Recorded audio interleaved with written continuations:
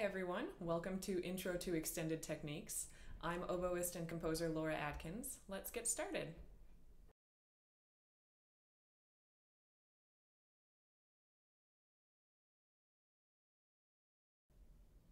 If you haven't already watched the intro video on my YouTube channel, I would recommend that you do that first because I explain what I mean by the term extended techniques and I give an overall structure for how my method book and how these videos will work. So today we're going to talk about harmonic fingerings. A harmonic fingering is a different way of playing a note that you already know. Harmonic fingerings have a different tone color or timbre than the standard fingerings, um, so they can add a different quality to the music. There are only a handful of harmonic fingerings that are possible on the oboe, and I get you started with three in my method book. If you look at the fingering charts in the method book, you'll notice that these harmonic fingerings are very similar to notes a perfect fifth below the note you're trying to play. For example, the harmonic fingering for high A is very similar to half hole D and to low D. Right? We can talk a lot more about the harmonic series and why that is, but I think that's probably a topic for another video. Right now, all I want to do is call your attention to the fact that these harmonic fingerings are similar to fingerings for other notes that you already know. So, the first exercise, I have you switch back and forth between the fingerings for those notes that you already know, like half hole D, and the fingering for harmonic A, which is very, very similar. The only differences between the two is that you are closing the half hole and adding that second octave key. So instead of you get and the same for half hole E flat and B flat. Instead of you get same for E natural and B natural.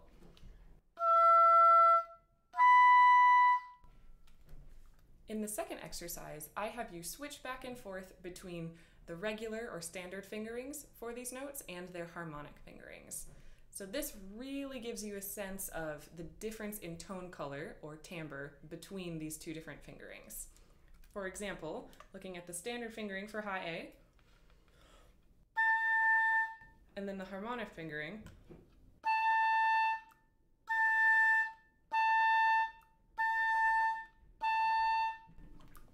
Sometimes people describe the harmonic fingering as a little bit rounder or a little bit more covered.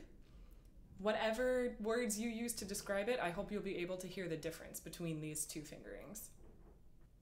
The third exercise has you move between the harmonic fingerings for different notes. This is just to get you comfortable with the technique, to give you another opportunity to sort of get these new fingerings under your fingers. I've marked this exercise at quarter note equals 80, but if you need to, start slower.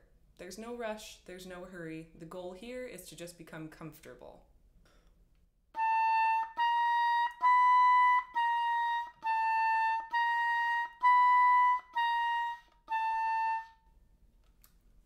The etude in this section incorporates a few harmonic fingerings into a simple minuet melody.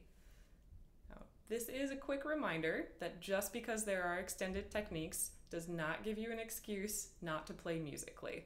Right? There are dynamics in this etude, there are breath marks, make sure you're observing all of those things, and that you have the goal of playing as musically as possible. As you work on more and more extended techniques, you will find sometimes that the extended technique itself can really help you play more musically if you're looking for that and if you take advantage of that opportunity. You do have one of those opportunities here in the second to last measure. There is a standard fingering high A and then a harmonic fingering high A.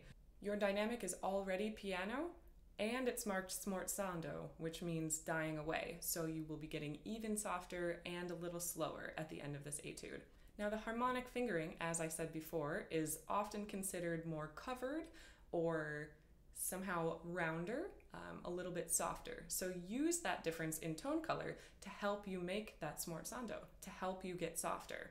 And because you are getting softer and slower, you have a little bit of extra time to make sure you are really getting to that harmonic fingering, to make sure you are really comfortable and really solid with it.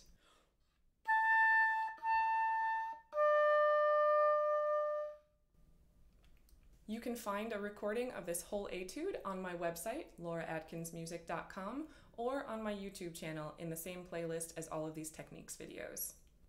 Thanks for tuning in and learning about harmonic fingerings. Happy practicing!